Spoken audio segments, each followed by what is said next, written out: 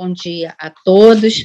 Né? Dizer que é um prazer novamente estar com, com os senhores, com um objetivo comum, né? de buscar proposições é, para a nossa indústria naval aqui no estado do Rio de Janeiro, que é né, para o estado do Rio, é, a construção naval e todas as atividades que dela decorrem, assim como é a indústria automobilística para o estado de São Paulo, né, o tamanho da sua importância. Então, muito obrigada né, pela proposta dos temas, que também nos foi encaminhado, né, tanto pela BIMAC quanto pela Ceseno, e também se emerge, né, para que hoje nós possamos aqui estabelecer é, um debate.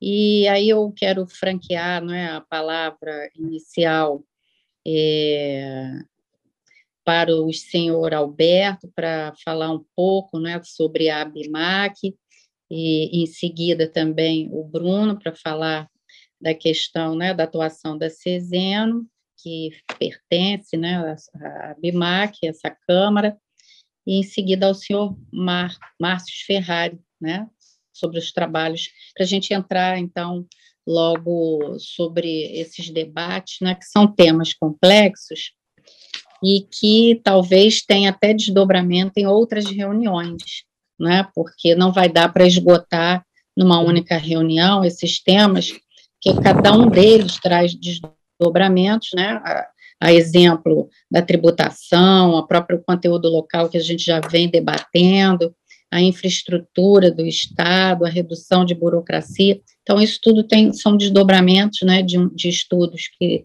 são necessários esse aprofundamento, né? E, e mas hoje nós vamos iniciar né, a, com esses debates. Tenho certeza que a gente vai é, crescer ainda mais com os trabalhos desta comissão, né, dizer que fiz a proposta né, de, da criação de uma, de uma comissão permanente, tamanha importância que é, né, é desses temas. Então, com a palavra aí, o senhor Alberto Machado. E pedir, né, antes que o senhor Alberto fale, que todos mantenham seus microfones fechados, só abra na hora de usar a palavra, para não vazar nenhum som. Bom, então, bom dia, obrigado, deputada, pelo convite. Realmente é importante a gente trazer um pouco do, da experiência é, que nós agariamos aí ao longo do tempo, né, e, e sempre em defesa é, da geração de emprego, da geração de oportunidades de investimento é, no país, né, e mais nesse caso aqui especificamente, mais no estado do Rio de Janeiro. só para informar, né, eu, quando antes do monopólio, a área toda de política industrial da Petrobras era embaixo da minha superintendência. Né? Então, durante praticamente uns 20 anos, né? primeiro como responsável direto, depois como é, o principal executivo, é, eu trabalhei nessa parte de desenvolvimento de fornecedores, né? de estímulo à indústria se instalar é, aqui no Brasil. Né? E naquela época, nós tínhamos uma grande vantagem, no caso, é que o poder de compra estava na nossa mão. Né? Então, qualquer tipo de estímulo que se podia usar né, naquela, naquela ocasião é, era um pouco mais fácil, porque o poder de compra era nosso. Então, nós podíamos alocar é, as, a, as cobranças né, em cima é, do que se pretendia, no, logo em seguida, como estímulo, comprar. Né? é, com a quebra do monopólio, isso ficou mais diluído. Né? Então, porque até a quem foi atribuído o controle, que no caso é a ANP, é, eh, ela não tem o poder de compra. Né? E o poder de compra, na verdade, ele é o poder de concessão, né? quer dizer, é, onde se faz uma concessão, né? e essa concessão, então, pressupõe alguns compromissos aí que podem ser assumidos. Então, o primeiro, a primeira dificuldade, o primeiro desafio é como o Estado, né, Estado mais amplo, né, como, como o Estado usa o poder de compra gerado por suas concessões. Né? Então, esse, essa é uma prática que a gente tem que, tem que é, buscar, né? e, e talvez seja um mecanismo de se chegar a algum resultado mais concreto. O outro ponto também que ficou muito prejudicado é a palavra incentivo fiscal. Né? é, o incentivo fiscal ele ficou muito com um jeito de renúncia fiscal. E essa renúncia fiscal tem ocorrido ao longo do tempo aqui no Brasil sem uma cobrança posterior daquilo que foi concedido. Então, acabou sendo um benefício fiscal na palavra mais ampla, é benefício para quem recebe, mas não é um compromisso para quem recebe. Então, quando eu vou falar aqui como um, uma das áreas que a gente pretende é, abordar, que é a área tributação, e aí até eu pergunto, seria bom talvez a gente dar uma passada em cada tema para ficar mais, mais fácil a gente debater. Né? Talvez se a deputada concordar, a gente podia é, seguir assim, né? Então, Com certeza, é, pela ordem, né? É, no primeiro momento, então, é, falando de tributação, é, a tributação, nós temos duas possibilidades, né? Nós temos os tributos, é, o tributo basicamente é estadual, né? É, no caso, é, o ICMS, e os federais, que aí a gente poderia é, desenvolver aí um trabalho de convencimento às bancadas é, federais que estão envolvidas nesse, nesse projeto. Né? Então, um ponto que eu sempre defendo é que o incentivo fiscal ele tem que ser condicionado a um resultado. E aí está a novidade, talvez, ao invés de nós chamarmos de incentivo fiscal, chamarmos de investimento fiscal. Por quê? Você troca um imposto que você receberia hoje por um imposto maior que você receberia ou receberá é, no futuro mediante um compromisso assumido. Então, eu acho que é, o que normalmente falta nesses casos né, é justamente uma espécie de plano de negócio onde a empresa ela se compromete formalmente né, com os pontos que, as, que vão ser é, considerados como moeda de troca nesse estímulo, vamos dizer assim, é, para a implantação no Estado. Né?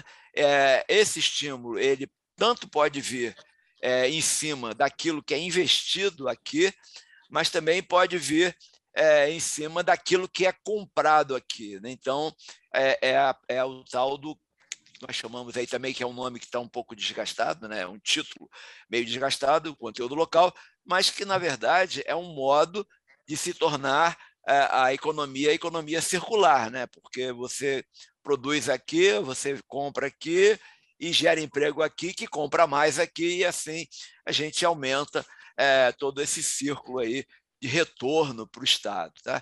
Então, do ponto de vista de incentivo fiscal condicionado, uma das propostas é justamente um projeto onde se tenha um, um conteúdo é, nacional ou até estadual. A, a BIMAC não pode propor é, formalmente um conteúdo estadual, porque é uma entidade é, nacional, né? mas a lógica é mais ou, menos, mais ou menos a mesma, é mais ou menos a mesma, porque quando a gente propõe um conteúdo local, é, cada estado vai ganhar naquilo que é o seu ponto máximo de, de potencial. Né?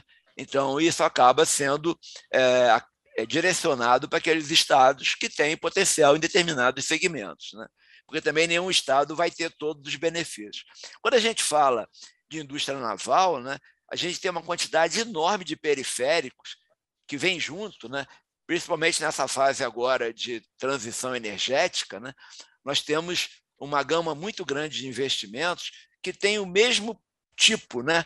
É, do investimento da indústria naval. Né? São, são empreendimentos de grande porte, que envolvem logística, que envolvem financiamentos, né? que estão em outros itens aqui.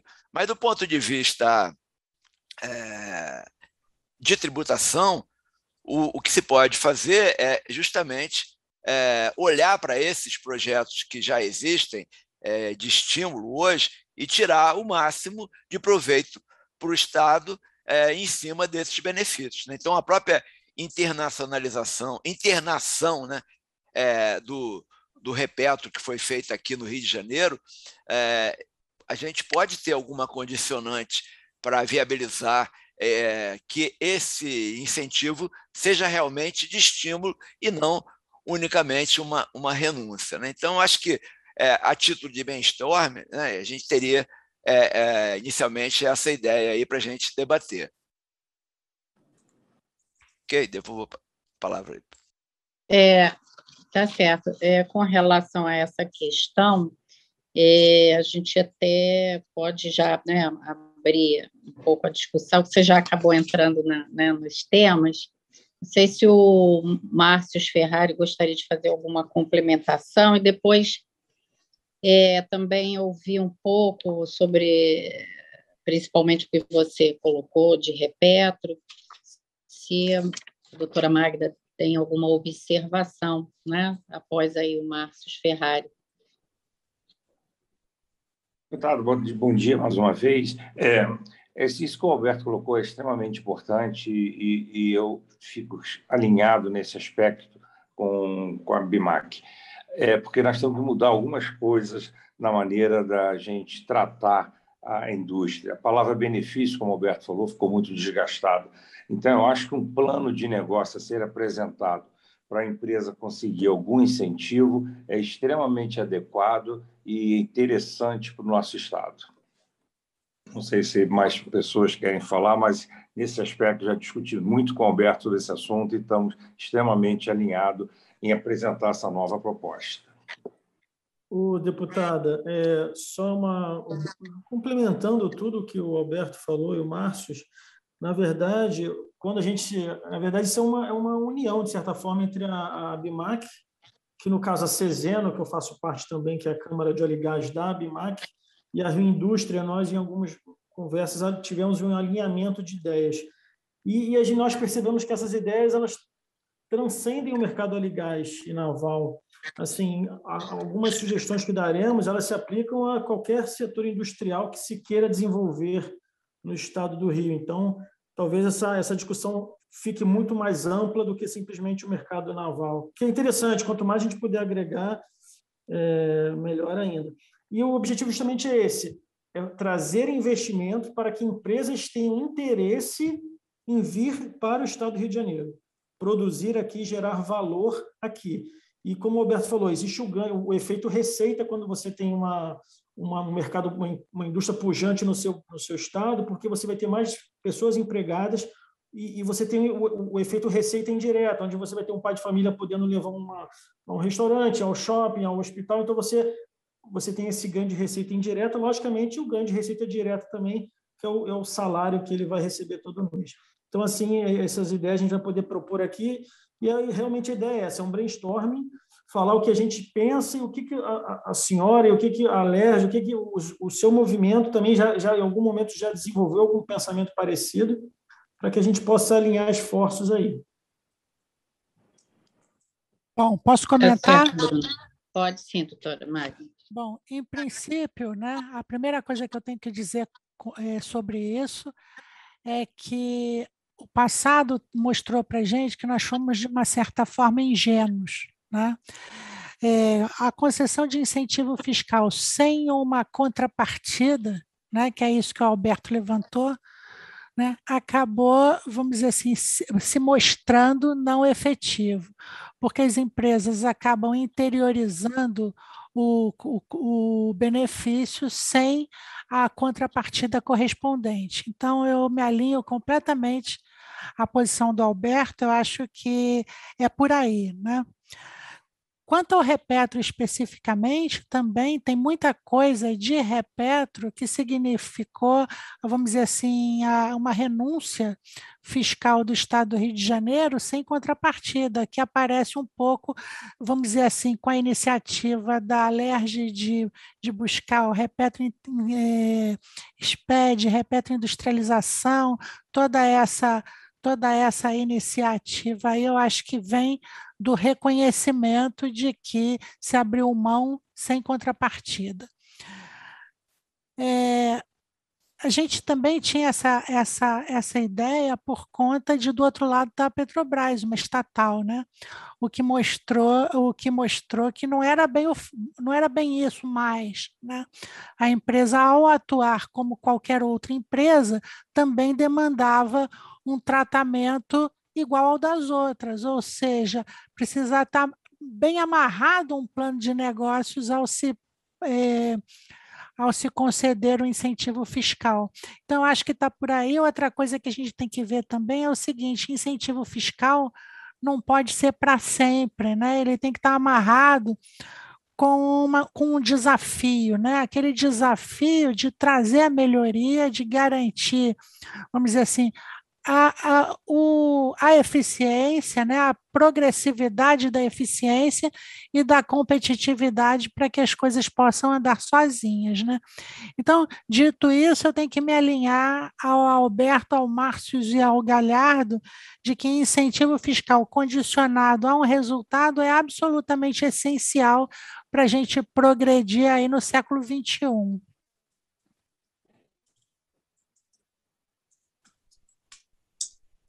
Já encerrou a palavra, doutora Magda?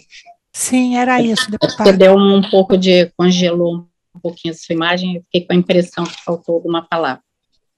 É, eu acho que essa questão aí do, do, do, incentivo fiscal, que não é, né, que é uma discussão bastante complexa, principalmente nesse momento que a gente vive aí, não é, do novo regime de recuperação fiscal, né? Só sendo possível é, a alteração de alíquota naquelas atividades em que o Instituto da Colagem nos permite fazer, né?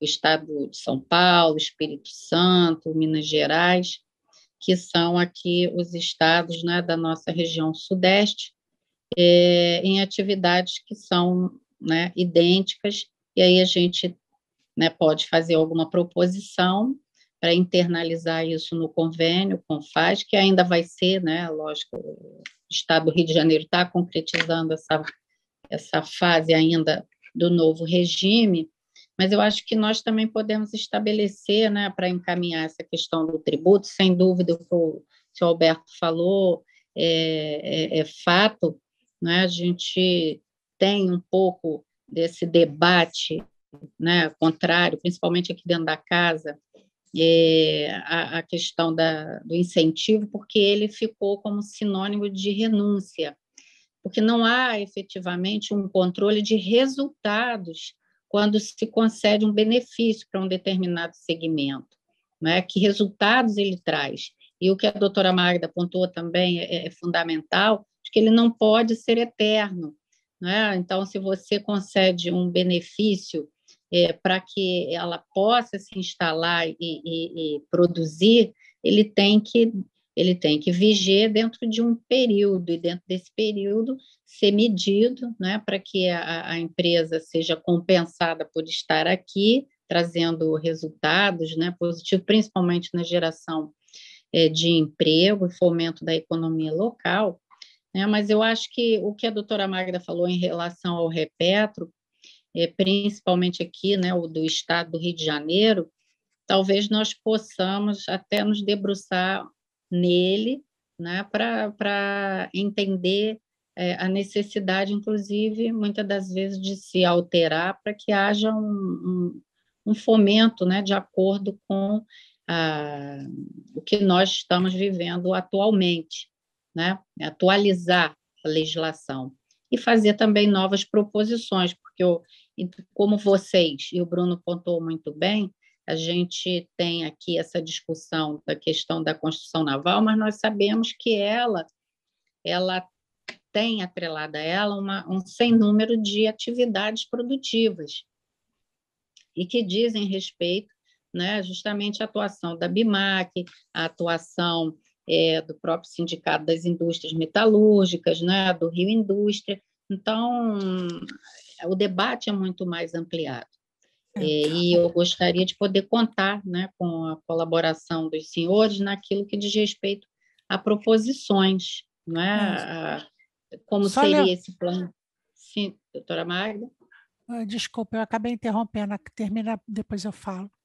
Não, como seria, é, de que forma poderia ser construída essa questão né, do compromisso de quem recebe o benefício, o plano de negócios, como seria o acompanhamento desses resultados, né, é, quais as atividades que nós podemos estar beneficiando, estudando a legislação é, tributária do próprio Estado de São Paulo, né, do Espírito Santo, né, naquelas atividades que há muito tempo deixaram o Estado do Rio de Janeiro porque fugiram né, das alíquotas altíssimas do ICMS. Então, atrair novamente essas atividades para nós. né? Vocês têm assim é, é, um corpo técnico também bastante é, capacitado, né? Para estar nos encaminhando aí essas sugestões. Eu acho que doutora Magda pode também aí complementar o que ia falar, mas eu acho que a gente tem que partir disso. Né? E o Bruno, inclusive, já está fazendo parte lá do grupo de estudos do cluster, que também é, vai tra nos trazer proposições com, com relação, é, inclusive, essa questão fiscal. É, eu ia lembrar ao Alberto, né, quando eu, que a gente já teve no passado uma discussão que eu acho que precisa voltar para a mesa, né, que é a questão do repetro desonerar o importado quando o nacional acaba onerado lá no segundo, terceiro elo da cadeia. Né? Então, essa discussão de tributo tem que englobar isso, né, Alberto?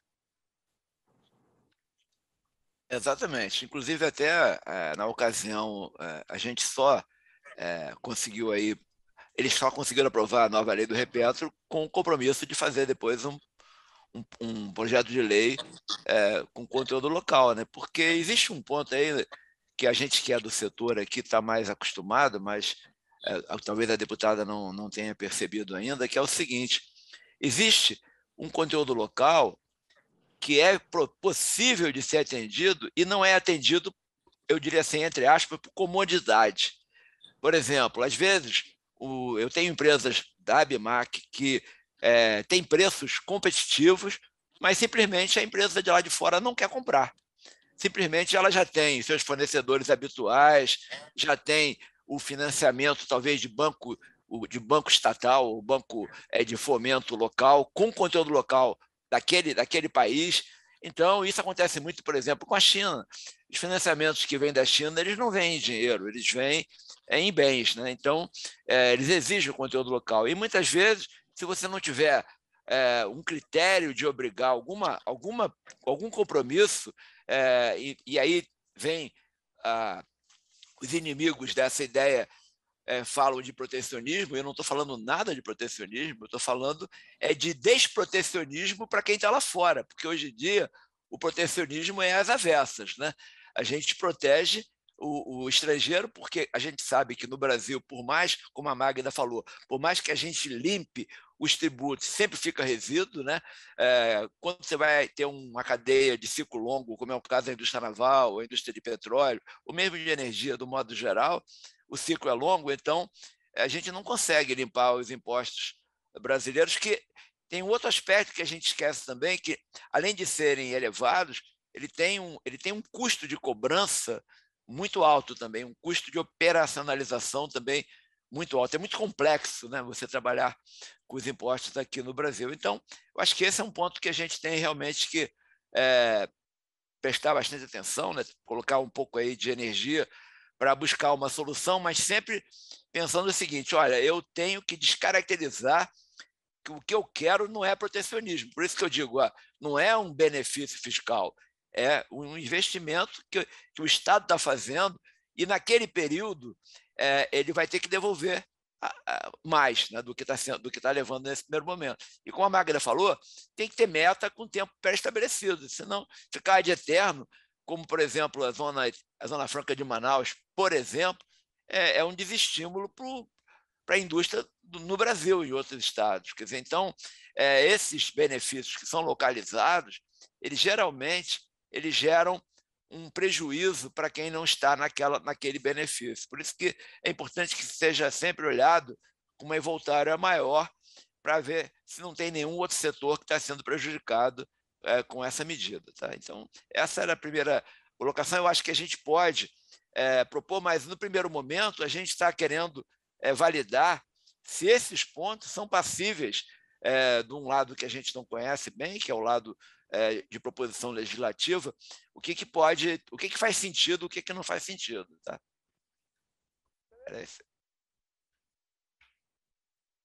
É, eu acho que assim fica aqui né, nessa questão né, que foram pontuadas, né, principalmente a, a questão do repetro é, SPED, né, que é o estadual. É, a criação, né, doutora Magda, aí a gente pode depois eh, sentar com mais, com mais calma e tentar estruturar, junto com a assessoria fiscal, né, uma, um estudo mais aprofundado a respeito disso tudo que a gente aqui está tá conversando e a possibilidade né, de, de criar alguma proposição né, que, que melhore esse cenário. Né? E, de, e aí a gente volta, a, inclusive, a estar tá falando com vocês, porque de repente seria interessante um grupo misto, né?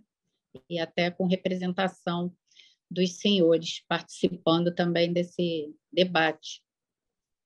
O deputado, Aí o próximo. Desculpa. Não, não, só nesse estudo, Bruno. nesse estudo é, seria bem interessante incluir essa questão de dessa análise de quantas empresas talvez migraram do Rio de Janeiro para outros estados, porque nós, como o Roberto falou, nós somos do mercado, então a gente vivencia isso no nosso dia a dia entre nossos fornecedores, clientes, parceiros. O número de empresas que migraram para o Espírito Santo é um número estrondoso, principalmente por benefício do INSS, reduções e tal na importação. Então, vale a pena realmente um estudo focado em, nessa migração, empresas que saíram do Rio para fora e tentar entender os porquês, para justamente para que a gente possa trazê-las de volta e trazer outras empresas também. Tá certo, Bruno. É, esse diagnóstico né, que você se refere, né, um, um diagnóstico do nosso mercado, né, do mercado do, do, estado do Rio de Janeiro e, e o porquê. Eu acredito que é, já existam né, algumas, alguns estudos estruturados, principalmente a Firjan, né, que costuma ter muito é, esse papel né, de identificação é, das indústrias, vocês no segmento que atuam. Então, acho que a gente pode estar unindo um esforço e, e, e, e avançando nessa questão aí da tributação. Só para, deputada, só para colaborar com o que foi dito, é, é, exemplificando, o, o, Brasil hoje só tem um fabricante de equipamentos de salvatagem, que é Turco Balieira. De balieiras, então, hoje ninguém mais faz no Brasil. É, esse fabricante está dentro do nosso estado. Apesar dele ter um preço competitivo, porque eu conheço bem a estrutura, ele não tem nunca chance de competir, por exemplo, de fornecer um turco de baleeira para embarcações que estão sendo construídas na China. E até por uma questão de, de regulamentação internacional, esses equipamentos são obrigados a, a, a, a da China, os, os FPSOs são obrigados a vir da China para cá com esses equipamentos instalados, mesmo que termine a construção aqui. Então, essa, é, especificamente, se a gente formos olhar, cada, cada, cada, cada empresa, né, cada fornecedor de equipamento tem sua dificuldade. Nós já tivemos no Brasil é, cinco fabricantes de turcos de baleeira. Hoje nós só temos e esse um está lutando está lutando bravamente há alguns anos e fica dentro do nosso estado. Então, são essas dificuldades que nós vive, vivenciamos e vivemos todos os dias. É, eu acho Marcos, bacana, Marcos, desculpe, estou aqui Não, pode falar. Eu, pode Mas falar. muito, muito interessante esse seu exemplo, Márcio, porque ele está mostrando o que a gente já sabe e precisa apontar, né?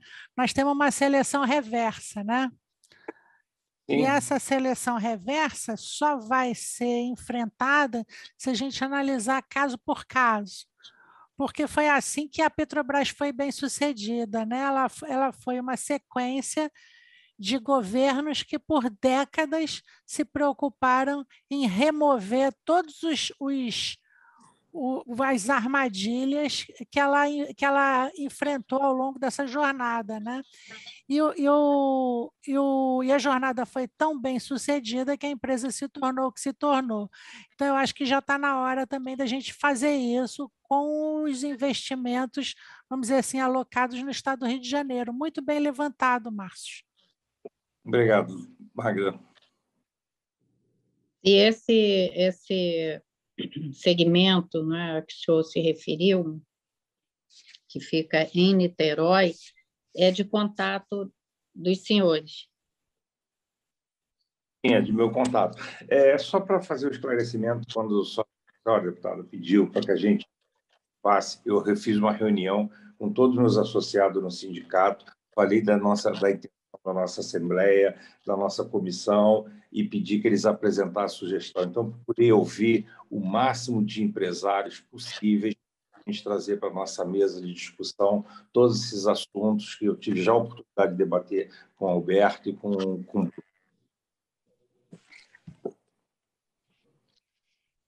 Então, quer dizer, esse trabalho já o senhor já, já deu início, quer dizer, então já está identificando, né, caso a caso, quais são as dificuldades. Então, vai poder estar tá contribuindo é, bastante, porque já é um, um cenário né, que já está sendo diagnosticado, e aí a gente vai identificando. Né? Agora, nessa questão, então, a gente, né, de tributação, nós vamos fazer dessa maneira, né? Eu vou me organizar aí com a doutora Magda, o Mauro Osório e a assessoria fiscal da casa, né? E também remetendo aí as solicitações de contribuição dos senhores. Agora, o próximo, essa questão, né, seu Alberto, do conteúdo local no Estado, eu acho que, de certa forma, também já o senhor iniciou um pouco a abordagem, né? Como o senhor falou, a BIMAC ela, ela tem atuação nacional, mas quando se referiu à questão da tributação, que poderia também estar atrelado né, tanto ao cumprimento é, do, do compromisso né, é, de quem recebe o benefício fiscal para quem investe ou compra aqui, também poderia vir em forma é, do cumprimento do conteúdo local aqui no Estado, né, tendo em vista o fornecimento de uma série de bens é, que aqui, é, e serviços né, que aqui são produzidos, mas que deixam de ser é, deixam de ser utilizados, né, deixam de ser comprados, porque quem, quem constrói, né, ele acaba preferindo os seus fornecedores de costume que são é, fora do Brasil. Né? Então, para além disso, o que, que a gente pode estar tá, né, colocando aqui também como proposta, né, para que esse essa indústria aqui, não é, local, ela possa entrar como de fato uma indústria competitiva, né, para que é. esses fornecedores, eles esses, né, os construtores, eles possam utilizar o que é fornecido aqui no estado do Rio, no Brasil, enfim. É, aí, aí tem um ponto que é importante, que é a engenharia, né? Porque é, o projeto ele começa na especificação de engenharia, né? Então, na medida em que você tem a possibilidade de desenvolver é, e retomar as empresas de engenharia aqui, esse é um ponto fundamental, é, a, a, a, probabilidade da gente ter mais conteúdo local aumenta, porque aí nós temos especificações que são passíveis de serem é, desenvolvidas, fabricadas, produzidas aqui, aqui, aqui no Brasil. Né? Então, eu acho que nesse caso é, passa também um pouco pelo ISS, né? porque é, engenharia normalmente é, é, mão de obra, né? é serviço, mas aí eu não sei se teria algum mecanismo é, para ser negociado com os municípios, né? e principalmente aqui é mais o município, talvez Niterói, Rio de Janeiro, talvez Macaé, é, para estimular é, empresas de engenharia, né? empresas que façam, principalmente a engenharia básica, que é aquela que especifica no início, mas também a engenharia de detalhamento, naqueles itens que são mais, como nós dizemos, de prateleira, onde você é, não tem um, um, produto sob medida fabricado. Né? Então, eu acho que talvez esse seja um outro ponto é, da gente estudar. E aí, quando se fala de, de engenharia, né, atrelado a isso vem também os aspectos ligados à tecnologia. Né? Então, é, eu até quando, quando dou minhas aulas lá, agora até que não tenho dado aula, que não tenho tido aluno, mas quando dava aula lá na FGV para o curso de petróleo e gás, uma das coisas que a gente falava é, é o seguinte: é, você tem que desenvolver a ciência, depois você, com a tecnologia, você dá um uso a ciência, depois com a engenharia você dá uma economicidade à tecnologia. Né? Então, eu acho que essa parte ela, ela tem que ser desenvolvida aqui também é, no Estado. Né? E aí veio uma ideia que surgiu hoje também, que seria o estímulo de startups. Né? Hoje nós estamos muito ligados à startup na área de TI, né? na área de tecnologia da informação. Mas startup é qualquer empresa, né? inclusive de engenharia.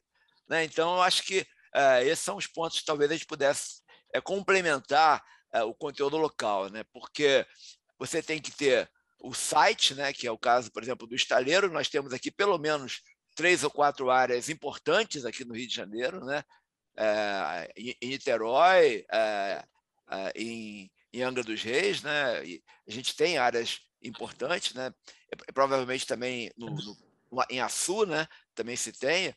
E, além disso, é justamente esse desenvolvimento é, da engenharia. Então, você tem o, o site, tem a engenharia aí a probabilidade de se obter conteúdo local é muito maior. Tá? Então, esse é o, é o ponto que talvez a gente possa acrescentar como ingrediente aí para fazer um programa mais robusto né, de desenvolvimento da indústria aqui no Estado. É, inclusive, seu Alberto, o, foi objeto né, da reunião que nós fizemos com a Petrobras, como eu falei, há duas semanas, semana retrasada, porque pegando né, a apresentação que a empresa fez já em reunião em outra ocasião aqui é, conosco, eles pontam o seguinte, né, como desafios observados na implantação dos projetos, é, núcleos, de, é, núcleos de engenharia nos estaleiros são incipientes, causando problemas de suprimento e interferindo nas etapas de construção, e aí, como na realidade, né, eu não eu não tinha antecipado a essa reunião presencial essas questões, né, porque quando você se debruça né, a, na apresentação impressa, surgem dúvidas, porque quando ela é só é, virtual, você passa os slides, você não, não fixa, não, se fixa muito ponto a ponto, né, naquilo que é demonstrado. Então, é, essa questão que você pontuou, eu acho que ela é bem isso que eu, na apresentação da Petrobras é colocado, né, enquanto desafio a ser vencido. É a, a questão dos investimentos em mais empresas de engenharia e, como você colocou, que podem vir também como startups. Né? E aí, talvez, é, é, conversar é, com com os executivos, né, já locais, né, dos municípios, que têm essa condição é, de estarem é, promovendo esse desenvolvimento. Não é isso? Eu acho que a leitura é essa. Eu posso complementar é, com a seguinte experiência. Né? Quando, quando a Petrobras tinha um monopólio e ela tinha que desenvolver, por exemplo, uma árvore de Natal para trabalhar com 2 mil metros de profundidade, né, de lâmina d'água, às vezes o problema não era a árvore de Natal, o problema era um, uma vedação que estava dentro de uma válvula. Quer dizer, é, um, é um, uma parte de desenvolvimento que a empresa de petróleo ela não enxerga, né? porque ela é um componente de um outro produto que muitas vezes está no terceiro ou quarto nível de desenvolvimento. Então, quando hoje não existe mais esse problema sendo numa única empresa, onde naquele, no passado muitos desenvolvimentos foram feitos de equipamentos foram feitos dentro do SEMPES da Petrobras, hoje a gente tem que criar mecanismos para que isso ocorra numa comunidade maior, não dentro de uma empresa. Né? Então, hoje mesmo à tarde, vai ter uma audiência pública sobre as verbas de PDI, né? e uma das lutas que a Magda sabe que a gente participa desde desde um monte de tempo atrás aí, é, da alocação dessas verbas para a indústria que vai desenvolver esses equipamentos. Né? Então, é, fica muito difícil para uma empresa de petróleo alocar esse dinheiro, esse recurso, que é obrigatório pelo contrato dela de concessão ou de partilha, é muito difícil ela alocar num produto que ela não enxerga, porque está no terceiro ou quarto nível. Então, eu acho que esse é um ponto que a gente também pode colocar, é um ingrediente a mais para a gente colocar, é justamente nessa explicitação de como se se consegue chegar no desenvolvimento de um componente que aí sim gera emprego aqui, porque um componente acaba sendo capaz de fornecer até para exportação. São, são itens menores, mas para aquela empresa que está desenvolvendo, tem um valor bastante representativo. Tá? Então, acho que uhum. essa visão acho que é importante a gente ter também. Aí eu vou te acrescentar uma, uma questão que era um desafio para nós na NP, pelo menos no meu tempo. Né? Quando você permitia, e a, e a, e a legislação então tem que assambarcar essa parte também. Quando a gente é, permitia um investimento para o desenvolvimento de um determinado equipamento, fruto de uma nova tecnologia, exatamente esse caso que você está dizendo aí, né? o que era difícil mais adiante era amarrar o compromisso da empresa investidora de testar aquele equipamento. Então, você acabava com, com pesquisas que não se materializavam porque o protótipo ou o lote pioneiro não eram abrigados enquanto possibilidade de teste. Né? Então, eu acho que essa é mais uma questão. A gente, a gente começa dizendo da necessidade da engenharia, etc., mas essa necessidade de engenharia precisa ser bem circunscrita para chegar até o teste de um equipamento protótipo ou um lote pioneiro. É, Maga, tem, tem um ponto também, é que quando a gente fala de engenharia, é, normalmente as pessoas só pensam naquele projetão, né? mas para cada nível a gente também tem engenharia. Né? Então, tem engenharia de materiais, por exemplo, que trabalha no desenvolvimento de determinados materiais que são necessários, por exemplo, agora no caso aí do hidrogênio, ou no caso da produção do gás é, do pré-sal, que tem CO2, que tem H2S e tal, acaba chegando em materiais que são desenvolvimentos que estão assim no terceiro no quarto nível, né? mas que são fundamentais, senão o projeto não anda. Né? Então, é, quando eu falo em empresa de engenharia, não é aquelas grandes empresas de engenharia que a gente ouviu falar aí no passado. São empresas de engenharia é, de todos os níveis. Tá? E aí cabem dentro, por exemplo, de uma startup dentro de uma universidade, como é o caso, por exemplo, o exemplo típico agora é a Hytron, né, que é uma empresa é, de Campinas, uma empresa de São Paulo, que ela nasceu dentro da universidade e hoje é a maior empresa de produtos de hidrogênio, de projetos da área do hidrogênio aqui no Brasil. Foi até vendida para Newman, né, no, no, na Alemanha. Quer dizer, então, realmente é, é, é, é um caminho, né? É, são tecnologias lo, localizadas em determinados projetos e engenharia para desenvolver essa tecnologia naqueles projetos, tá certo? Isso aí pode fazer no Rio, nós temos FAPERJ aqui, nós temos universidades federais localizadas aqui no Rio de Janeiro. Então, eu acho que isso aí é, é, é, é potencial a gente tem. Eu acho que é só uma questão. As melhores faculdades, modéstia à parte, estão aqui no Rio de Janeiro. Né? Pode ter igual, mas melhor não tem. Né? Então, vamos falar, se você tem o ITA, aqui nós temos o IME, quer dizer, você tem a, a, a Federal, a PUC, né? são faculdades que têm um corpo uh, docente aí da parte técnica espetacular. Né? Então, eu acho que realmente é, é, fundamental a gente abordar esses temas nesse, nesse foco. Eu queria, antes de acabar o tempo aqui, eu queria só falar um pouquinho só sobre investimento, sobre financiamento.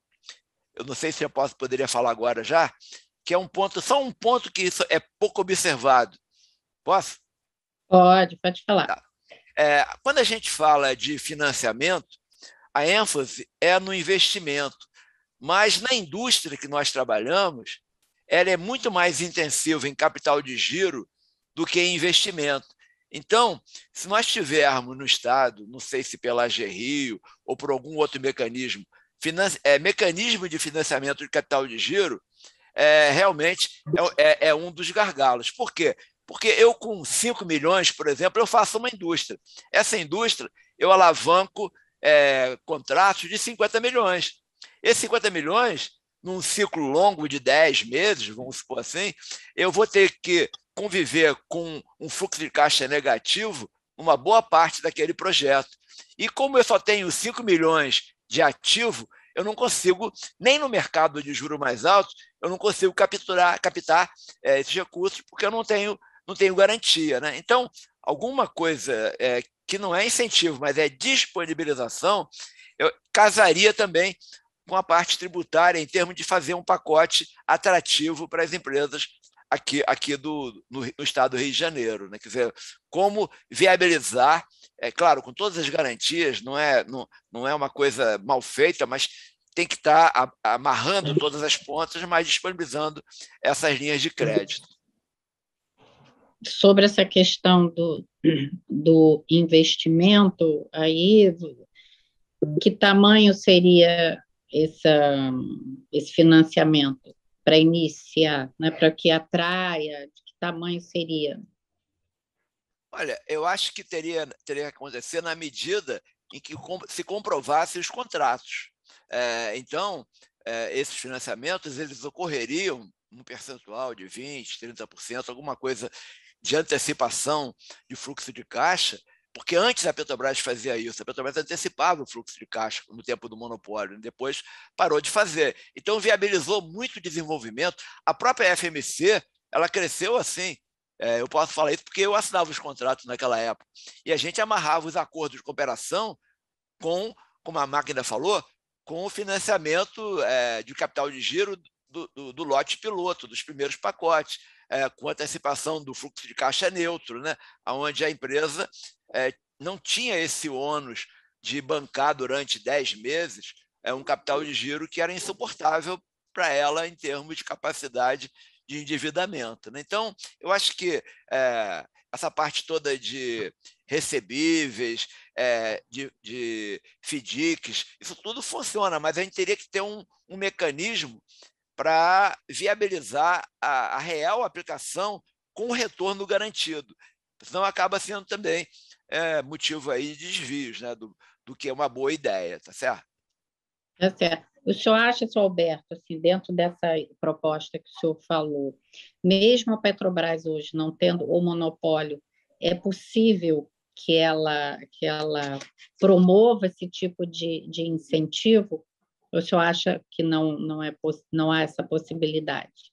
Olha, eu acho que isso aí é, um, é, uma, é uma visão, mais uma vez, é uma visão curta, porque se uma empresa é, hoje ela tem a capacidade, como a Petrobras tem, é, de endividamento é, ou em termos de conseguir juros pelos ativos, conseguir juros mais baixos, na hora que ela joga o compromisso do capital de giro no fornecedor, que não tem esse, essa capacidade, ela vai pagar mais caro pelo item, não tem dúvida. Né? Então, e isso acaba prejudicando o país, porque aí o fornecedor lá de fora, como muitas vezes tem juros negativos, né? porque em alguns países eles emprestam dinheiro abaixo da inflação daquele país, como é o caso da Itália, que aconteceu isso durante muito tempo. Então, eu acho que isso aí é, é um modo de você retornar a atratividade para o país. Né? Então, é esse é, é, é, um ponto a, a, ser, talvez, estudado com mais detalhes. Né?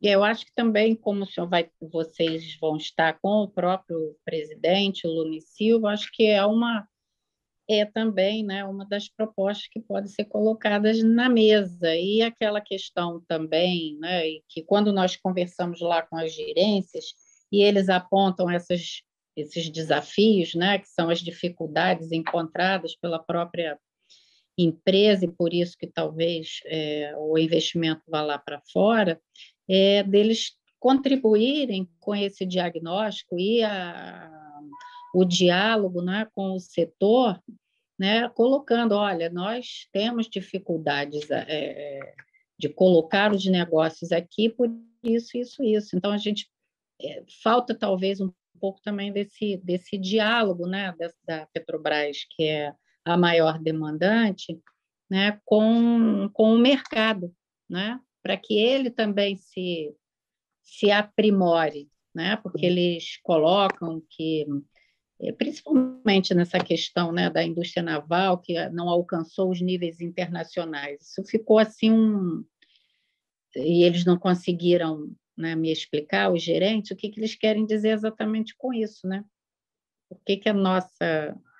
É, o senhor que é do setor não, é, não, não atingiu esses níveis internacionais? É por falta justamente dessa questão que o senhor colocou, da dificuldade da, da, desses serviços de engenharia? É, na verdade, é um conjunto, né? São esses pontos todos que a gente tem que atacar é, em, em, praticamente todos eles, né? Porque nós nos desorganizamos muito.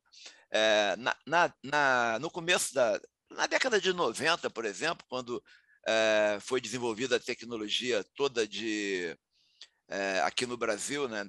na década de 80, no final da década de 80, é, que foi desenvolvida aí essa parte toda ligada a, ao desenvolvimento da indústria né, no, no Brasil, nós conseguimos aí é, desenvolver a, petro, a, petroquímica com muito de engenharia brasileira. A Petrobras providenciava a engenharia básica, até mesmo comprando a engenharia básica com transferência de tecnologia, e depois passava o detalhamento para as empresas brasileiras.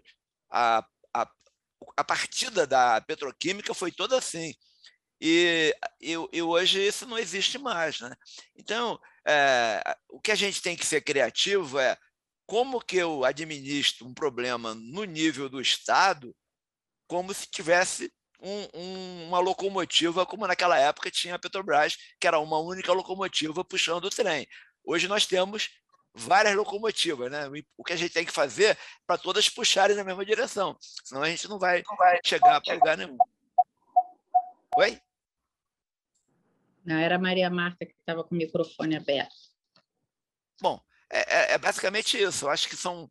Eu tenho outros pontos aqui, mas outros pontos são menores em relação a esses aqui. Eu acho que. Essa é, questão da infraestrutura, né, que você colocou. É, a, a infraestrutura tem. Eu só queria colocar um ponto da infraestrutura também que as pessoas não enxergam. É que a gente fala muito de infraestrutura, a infraestrutura visível, mas tem a infraestrutura que eu chamo de infraestrutura da infraestrutura, que é a infraestrutura invisível, que é onde estão os maiores problemas. Então, por exemplo, licença ambiental, é, que você às vezes não faz uma, uma estrada de ferro ou não faz um porto, porque não obtém a licença, ou demora muito para obter a licença, né? então vira uma obra de igreja aí acaba não se pagando. Né? Então, são pontos que a gente tem que levantar, e aí, é, quando a gente fala é, burocracia, licenças no modo geral, é, exigências e até mesmo alguns interesses políticos, né, que tem que ser alguém tem que bater o martelo, porque às vezes fica cada um puxando para um lado e aí o, o, quem perde é o Estado como um todo, né? Então, eu acho que são pontos que a gente tem tem que considerar que estaria nesse nesse item aí infraestrutura. Em cima da infraestrutura vem o financiamento da infraestrutura, que também é, aí passa para parcerias público-privadas, que até hoje não está funcionando ainda por falta, talvez, é, de entrave, ou por existência de entraves ainda é, burocráticos. Né? Então, eu acho que são esses pontos aí que a gente poderia, é, assim, em primeiro momento, existem outros, mas eu acho que já são um pouco menores. Se a gente conseguir atacar esses, os outros vão aparecer é, naturalmente. Alberto, é, Deputada. Uma desculpa. palavra aí, Márcio, pode, pode se é, colocar. Falando estrutura invisível, Alberto, a gente não da parte de segurança, né? Nós citamos hoje alguns exemplos de questões de segurança que, que inibe um pouco a ação de investimentos no nosso Estado. É, recentemente, uma grande indústria é, de alimentícia aqui dentro do nosso Estado teve que sair daqui da cidade do Rio de Janeiro. Graças a Deus, foi para Valença, onde ele já tinha uma outra unidade lá, ficou dentro do nosso estado, por causa de questões é, de segurança. Inclusive, não só a segurança, é, é, é, é vamos dizer, da polícia, mas uma questão de, do, do custo da segurança que ele tinha que ter para manter a unidade dele funcionando. Outro exemplo nós discutimos também, Alberto, quanto é que uma empresa, se comparativamente, se usar a FMC, é, pagava de custo de segurança numa fábrica de Houston e o custo de segurança aqui na fábrica, ali no iníciozinho da Dutra. Então, essa infraestrutura invisível também, que eu chamo de segurança, acho que também é extremamente importante. O Márcio, é, e o deputado também, acho que a gente está fechando o ciclo assim, de todos os pontos que a gente ponderou nas reuniões, e talvez assim o último seja a questão que eu, a gente vê grande oportunidade de parceria público-privadas para a questão da segurança, como o Márcio falou, questões logísticas, como o Alberto falou, mas assim portos, projetos grandes de logística, eu, eu, eu chamaria de a macrologística, mas existe a micrologística de um acesso a, um, a uma estrada, coisas menores e mais é, regionalizadas, que poderiam talvez um acesso a uma, uma, estrada, por exemplo, algo pequeno, mas que viabilizaria uma, uma instalação de uma indústria, possa ser feita uma parceria do Estado com uma empresa privada para fomentar essa, essa micrologística que facilitaria todo esse acesso também. Acho que isso é um outro ponto a se trabalhar.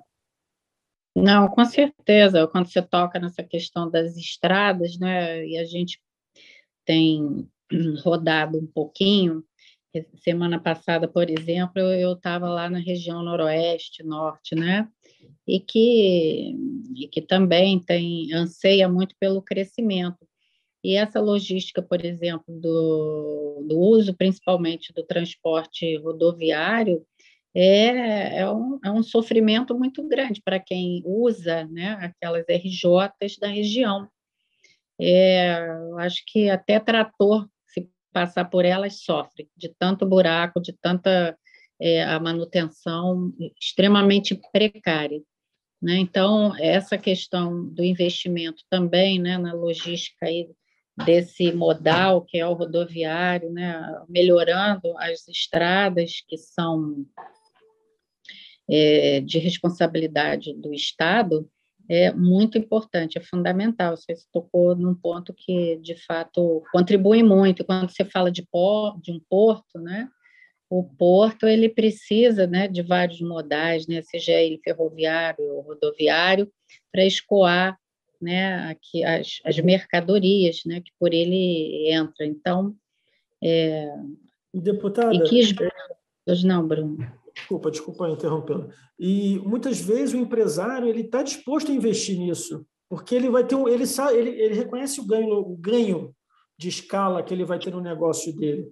Então, se o Estado talvez fomentá-lo a investir, ao próprio empresariado investir nessa parte logística, logicamente, ele vai ter que ter algum estímulo para isso, é, é, basicamente o que ele precisa, para que ele pegue o dinheiro dele e ponha nesse tipo de iniciativa. Bruno, é isso faz vê... parte desse item infraestrutura, né, Marcos? Sim. Bruno, você vê algum espaço, como você estava falando no início da sua conversa ainda há pouco, sobre questão de segurança, de parceria, como poderia ser feito isso com a indústria, Estado? tem o exemplo que eu, eu, gostaria de dar o exemplo que aconteceu com a segurança presente, né? É, isso foi uma ideia muito bem bolada que você conseguiu aumentar o efetivo de policiais na rua usando a, a folga sem mudar estatuto de militar, nada disso, usando a folga é, dos militares, né, dos policiais militares. Eu acho que alguma coisa parecida com isso, se fosse aplicada no, no, no âmbito industrial, eu não sei como, mas é, é, usar o paradigma talvez seja um caminho também de você multiplicar a força né, policial de apoio à indústria sem onerar em termos de mudança de carreira militar ou de folga, que essa aí são coisas que mudam no estatuto mais complexo. Né? Então, é, essa é uma ideia, quer dizer, usar, usar uma coisa que deu certo no outro lado aqui, né, talvez.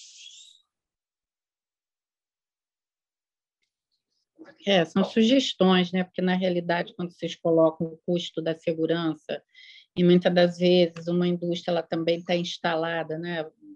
Em uma área que não é, é, é uma área um pouco mais afastada do centro urbano, então é, o próprio policiamento, né? Nessa questão que você colocou, talvez usando um pouco da ideia do segurança presente, do PROEX, né, que também é, utiliza a força policial no momento da sua folga, é, aí já fica um pouco mais complexo, né, né para garantir a segurança assim, rotineira, né, no dia a dia, de forma mais continuada, para esse investidor. Né? Então, por mais que se faça ronda na área, mas né, não pode ficar estacionada ali uma viatura na, na porta daquela indústria. Então, talvez é, a gente possa é, a partir desse exemplo né, e da sugestão, amadurecer para outras sugestões. Né? Então, aqui a questão da logística, que eu não, né, porque a infraestrutura, redução da burocracia, que e o financiamento, mais ou menos, são do mesmo grupo né, de, de debate. E a questão da logística, que eu acho que passa também por essa questão das estradas, né, dos modais. Posso fazer uma pergunta já... aqui para o Alberto, deputada? Pois não, doutora. É, Alberto, você tem o um mapeamento de onde essas indústrias estão instaladas, suas afiliadas estão instaladas no Rio de Janeiro? Assim, mapa de, disso, vamos dizer, para a gente enxergar regiões prioritárias, quando a gente fala de infraestrutura, como é que atende tudo isso? Você tem isso? A gente tem, a gente tem, claro, não está pronto, mas é, é, é, não é difícil de, de ter esse mapa, né? Porque Agora, o problema todo é que nem todas as indústrias são afiliadas da ABMAC, né? Então, a gente tem aquelas que são afiliadas, né? Porque nós temos o Sindimac e a ABMAC. O Sindimac nacional, ele, ele tem hoje 8 mil empresas, né? E, e a ABMAC tem 1.650, né? Quer dizer, é, que são aquelas que contribuem como associadas, né? Essas a gente tem todo, toda a informação. As outras, no caso do Rio de Janeiro, como a, os sindicatos, a ABMAC ela não é forte, o Sindimac não negocia aqui, por exemplo, essa parte patronal, existem outros sindicatos que assumem isso, como é o caso do CIMERG, CIMES, tem alguns sindicatos é, que, que fazem esse trabalho aqui. Em Minas Gerais, por exemplo, é a ABMAC que faz. Então, lá, o lá é mais fácil de ter essa informação, mas aqui no Rio é um pouquinho mais complexo. Agora, as associadas eu tenho, não tem problema nenhum. Uhum. Você sente falta, por exemplo, de apoio portuário? É, a, a gente trabalha muito com bases de apoio, né? Quer dizer, isso aí vai acontecer com energia eólica lá na frente, vai acontecer com outras é, outras atividades, inclusive com a BR do Mar, aí, se estimular mais a cabotagem. Né? O gargalo, muitas vezes, não está no navio, né? como foi abordado na BR do Mar. O gargalo está na troca de modal, né? que é o, é o crítico, né? onde você muda de um modal rodoviário para um modal naval, um modal é, ferroviário. Então, esse é o, é o ponto crítico que tem que ser analisado é, no contexto. Né?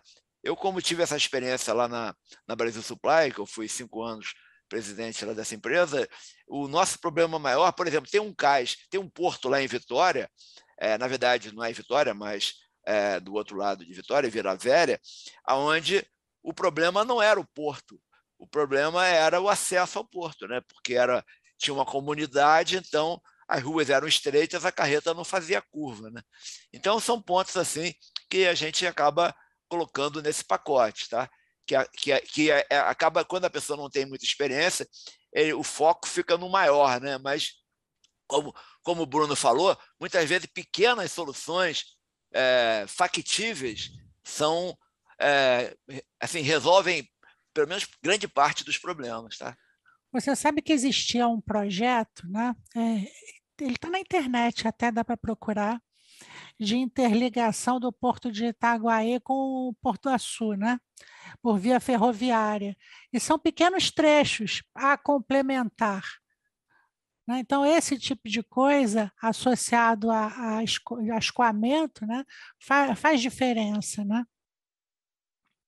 É esse ponto aí que vocês colocaram, né, da, da inclusive dessa interligação dos modais, é, é, é muito importante. Eu tenho até, inclusive, conversado né, com o gestor do Porto de Angra, que também é gestor do Porto de Macaé, né, e ele tem pontuado, porque a VLI né, ela está entregando trechos, né, e muitas das vezes preferindo até pagar multa. Né, e a gente está aí batalhando também para reativar um trecho da, da ferrovia que vai de Angra Barra Mansa, né, o município de Barra Mansa, é porque a VLI está tá justamente é, trabalhando né, nesse, nesse sentido, né, devolvendo trechos e preferindo pagar multas. Então, eu acho que a gente tem aí um, um campo muito amplo né, de trabalho, porque mas precisamos muito é, também da presença do governo federal.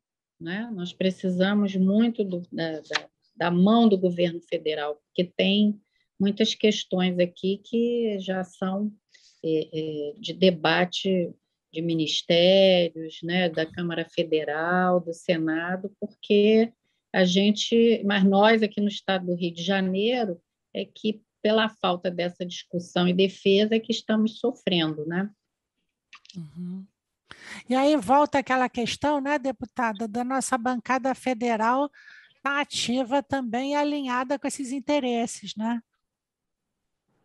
Exato. Eu, eu inclusive, né, solicitei através da, da deputada federal Soraya Santos é, uma reunião com o ministro da Infraestrutura para justamente falar sobre essa questão aí da VLI no trecho que eu mencionei, né? E é um debate que tem que ser mais aprofundado, sem sombra de dúvidas.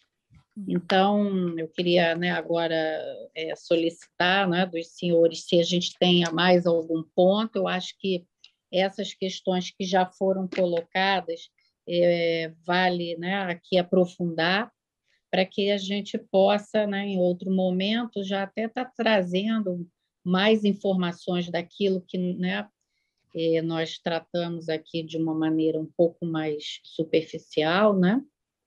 para a gente seguir aí e avançar né, nas soluções. Alguém mais quer acrescentar para que a gente possa seguir para finalizar? É, eu queria só. É, é, eu tenho, eu tenho uma, um princípio que eu uso, é, o seguinte: é o princípio do vestibular. Né? A prova vestibular, você tem que fazer as questões fáceis primeiro, porque se fizer as difíceis, acaba o tempo e você tira zero. Né? Então, você primeiro faz aquelas fáceis. Então, eu acho que até para dar ânimo no nosso, nosso trabalho, é tentar identificar alguma coisa que a gente pudesse ou virar um projeto de lei, alguma coisa que a gente já pudesse já deslanchar, entendeu? E ir tirando desse pacote. Pra, a gente tem que pensar no macro, tem que pensar no grande, mas vamos tirando aquilo que é possível gerar algum resultado para a gente e se realimentando assim em termos de motivação, tá? Eu acho que esse é um ponto é, de metodologia que eu acho que a gente podia adotar, porque eu acho que é extremamente produtiva a gente comemorar pequenas vitórias, né? E estimula a gente a continuar, né? O Alberto, Não, nesse sentido aí, a, a, sugestão do Márcio é, se encaixa perfeitamente, né? Porque nós temos é, gargalos, às vezes é, legislativos que são fáceis, que são mais fáceis de remover e que podem viabilizar, por exemplo, a, a, redu a, vamos dizer assim, a equalização de tributos em relação ao produto importado, né? Essa, esse exemplo da salvatagem foi muito ilustrativo. Se tiver Exatamente. outros como esse, uma meia dúzia desses, a gente já faz bastante coisa. E aí, nesse sentido, eu acho que vocês podem também estar nos encaminhando, né? independente disso, essa questão, por exemplo, que foi colocada do financiamento, né? isso a gente pode já estar promovendo reunião, é, inclusive lá com o presidente da AG Rio, para verificar dessa possibilidade que foi colocada aqui pelo, pelo Alberto né? E isso é, um, é uma questão que nós podemos, inclusive, tratar com ele. Então, a gente pode com, começar pelo financiamento, e é isso que a doutora Magda falou, e a gente pegar e se debruçar sobre o, a questão do repeto. Uhum. Nessa questão, nessa questão também da, da, do, da falta de, da, do ponto da Petrobras, da falta de núcleos de engenharia nos estaleiros, né? aí eu vou lembrar também, quando a gente fala de financiamento, tem um financiamento de fundo de Maria Mercante que está se escasseando, muito provavelmente é, com o BR do Mar. Né? Então, a gente tem que dar uma olhada nisso também. É, o, o Fundo Maria Mercante tem um ponto que eu sempre lutei aqui, que diz respeito a, ao financiamento é do navio. Né? Você, quando compra um navio, você financia o, o navio todo. E, na verdade, é, o benefício do Fundo Maria Mercante ele fica restrito ao armador e ao, e ao primeiro nível, porque na hora de comprar nave peças, eles compram com 0,100. E aí os fornecedores de nave peças não têm nenhum benefício. E, na verdade, nave peças é mais de 30% do valor total do navio. Então, é, isso é uma apropriação é, indevida, né, inadequada, porque fica represado num nível primeiro nível ali do financiamento. Mas se, eu, se o Fundo de Maria Mercante pudesse a, a financiar também nave peças, já ajudava. Esse é um pleito nosso, que está tá colocado uhum. lá já há muito tempo, mas não tem eco. Né? Eu acho que isso realmente é um ponto fundamental, porque é muito fácil. Você, cada vez que a nota fiscal for alocada a um navio que esteja financiado pelo Repeto, pelo, pelo, pelo Fundo Mercante, é, esse dinheiro abate lá e, e vai direto para o fornecedor. É, eu acho que isso aí é, é um estímulo que pode ser feito sem muita dificuldade operacional, ainda mais agora com nota fiscal eletrônica, isso é muito fácil de controlar. Eu fico pensando assim, até benchmark, é, vamos dizer assim, só brainstorming bem, bem básico, né? Se a gente não podia ter um sistema fechado, tipo a moeda lá de Maricá, né? Para fazer essas coisas. Né? Só pensando alto aqui, porque isso circunscreve uma questão fácil, né? dizendo assim: olha, fora disso, isso aqui não é possível ser usado. Ah, e, ainda tem uma facilidade aqui, quando a gente fala com o executivo, o executivo põe a culpa no legislativo, né? Então aqui a gente pode juntar todo mundo, né? Poxa, então, se depender de uma mudança do projeto de lei, a gente propõe para deputado o projeto de lei pronto, vamos ver o que, que dá. Eu acho que é por aí. Eu acho que a gente tem assim, ó. Primeiro vamos resolver com as, restrições que a gente tem. E depois vamos tentar mexer nas restrições. Eu acho que é o caminho mais rápido de se conseguir é, resolver dentro daquele, é, daquela proposta minha de ir resolvendo os pequenos problemas primeiro, né? Com certeza. Eu acho que é, esse é um bom encaminhamento. Então, é, eu acho que dentro, dentro disso, né, eu acho que as sugestões, eu acho que consolidando tudo isso que o senhor pontuou, né, a BIMAC, junto com, né, com a Rio Indústria, pode nos encaminhar essas sugestões que são mais fáceis para a gente ir avançando naquelas que são mais complexas, né? Porque o Fundo de Marinha Mercante né, já tem né, o, o a, a interface né, do governo federal, que a gente pode estar levando esse play, mas já é uma complexidade maior. Né? Então, a nível de Estado, o que, que nós podemos aqui resolver? Né? Então, eu já, né, a gente já sai aqui com, esse, com algum dever de casa, né, tanto nós da comissão quanto os senhores, né, para que a gente possa avançar. E aí eu abro aí a palavra para né, as considerações finais, né, para que a gente, então, siga aí para finalizar a nossa reunião. Né? Eu acho que o que compete aí a, a BIMAC são essas sugestões, né, colocar as sugestões no papel, né, pedagogicamente, como sugeriu aí o seu Alberto, e da nossa parte da comissão já fazer a agenda com a GRI. Então, aí com a palavra aí para considerações finais, né, o Márcio Ferrari, depois o Bruno e por último o senhor Alberto. Deputada, a todos, é, primeiramente queria agradecer pela, pela participação nessa reunião e principalmente pela sua condução da reunião, deputada, é, sempre muito agradável e incentivadora. É, mas um, só um itemzinho para a gente não esquecer, é, seria aquele plano de incentivo fiscal linkado a um plano de negócio. Né? Plano de negócio. E, no mais, desejar a todos aí uma boa semana, muita saúde e paz.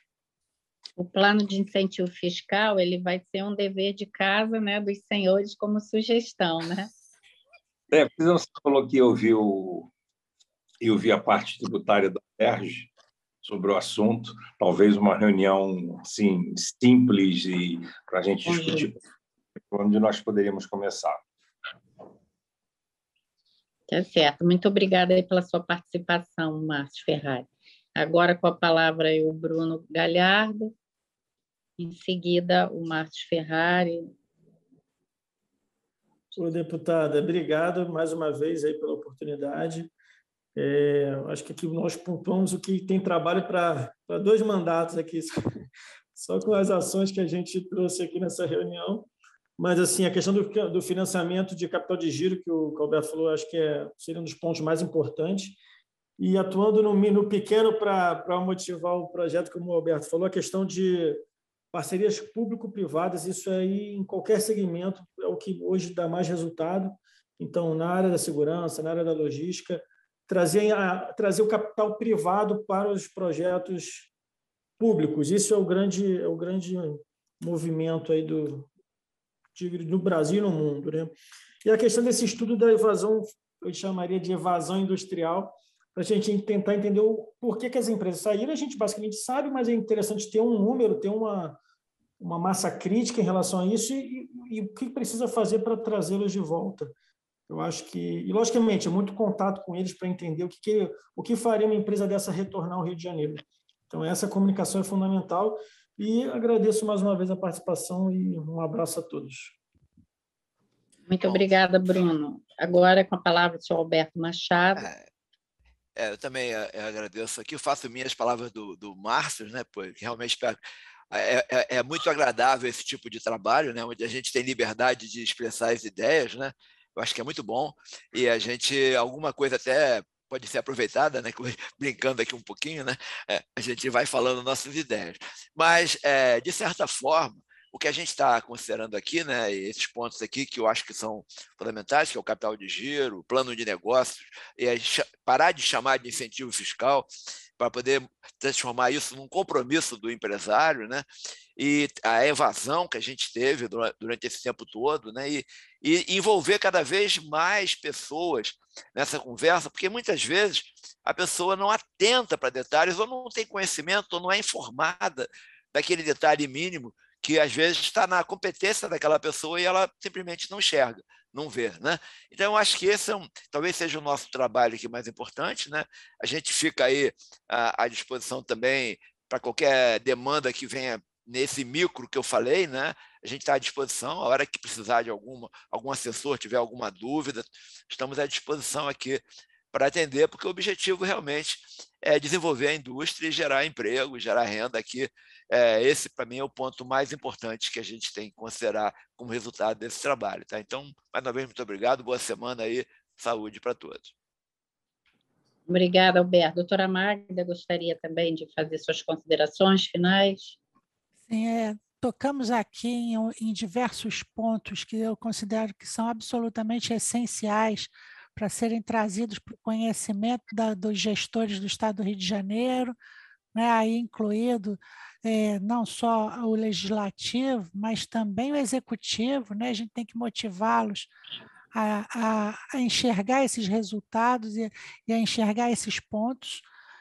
E, e parabenizar mais uma vez a deputada Célia pela organização, pela disponibilidade né, e abertura para discutir todos esses temas. Né? Eu acho que com essa disposição da deputada Célia e se Deus quiser que essa frente se torne perene, né, nós vamos ter muito, muito ganho né, para o Estado e, e, com, a, com a, vamos dizer assim, com o dinamismo dela e, a, e, a, e o jeito de lidar com as coisas que eu considero assim muito muito palatável e angariador de simpatias, vamos dizer assim. Bom, então, assim, eu agradeço a participação de todos. Né? Eu vou mantendo contato, Bruno, o senhor Alberto e Márcio, né? É, principalmente o Bruno, que tem né, o meu contato telefônico, é, pode compartilhar também com o senhor Alberto e o, e o Ferrari. para que a gente possa estreitar é, a, esses temas e, e, o andamento daquilo que cada um de nós ficou é de executar, né, para que a gente possa mais adiante ver nova data e já trazendo alguns resultados disso tudo que nós conversamos.